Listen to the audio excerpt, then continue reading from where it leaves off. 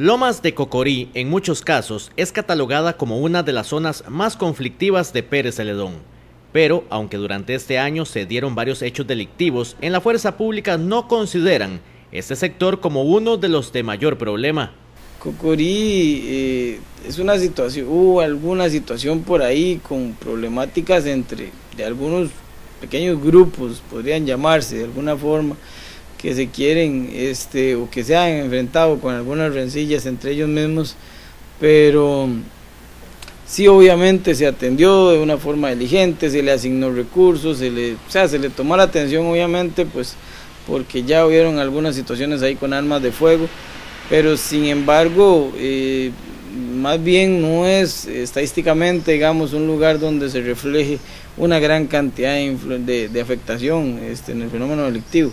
Hay inclusive algunas otras zonas con mayor afectación en cuanto a denuncias o, hechos delictivos. Lo que sí tienen claro en la fuerza pública es que la parte perimetral del casco central de San Isidro del General es donde se presentan más problemas de robos, principalmente en casas y negocios. El centro no es tan conflictivo y los números en cuanto a estos hechos son bajos. La parte delictiva se concentra en los barrios de la periferia de San Isidro.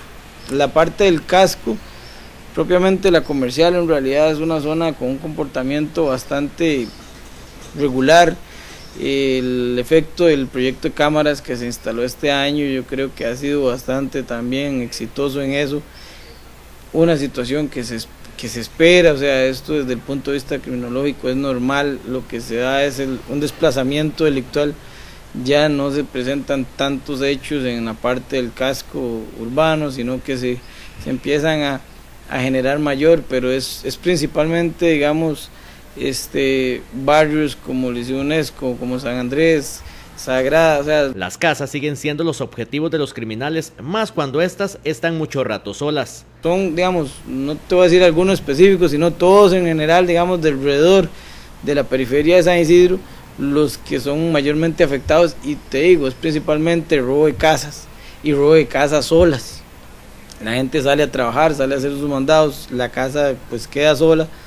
En algunos casos con bajos niveles de seguridad, algunos casos pues ya sean algunas forzaduras, algo un poquito digamos más